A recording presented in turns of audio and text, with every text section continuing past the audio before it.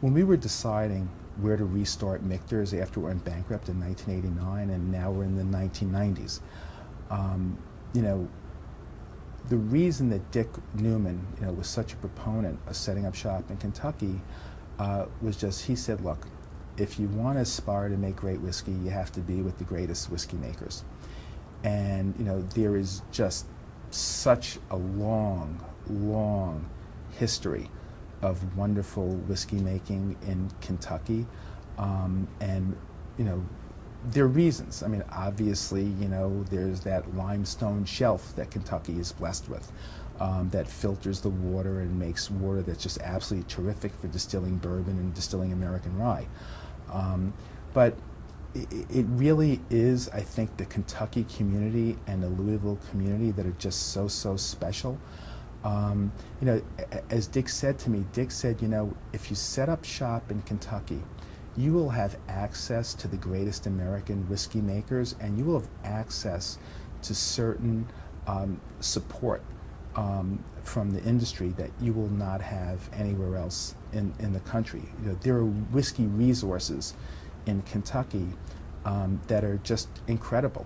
I mean, for example, um, you know, uh, we're going to be getting a, a, a, new column still and a new copper pot still doubler system, uh, custom made, delivered by Vendome.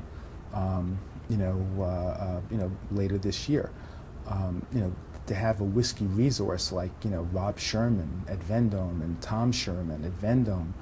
Um, you know, literally a five-minute ride from your office um, is just incredible. I mean, Vendome in my opinion, is clearly the best American still maker, and you can make an argument that the greatest still makers in the world, and they're right here in Louisville, Kentucky.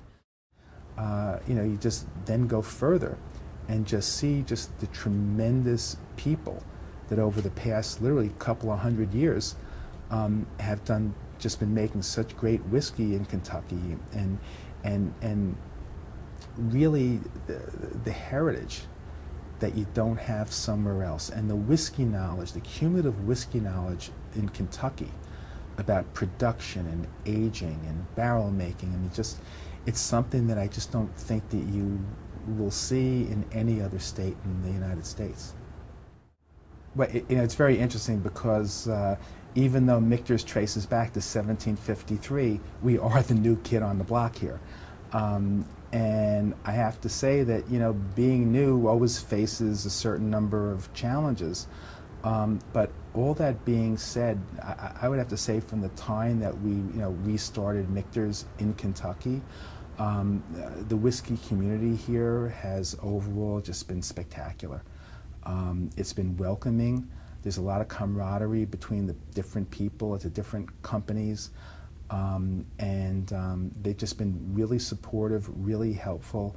And I, I, get a sense in the Kentucky industry that it, it really is a feeling that, you know, uh, you want the tide to rise so to lift all the boats. And people really do pull together and they really help each other um, in a way that uh, I'm not sure they do in some other industries. Um, there, there really are just terrific people here. Um, you know, incredible people.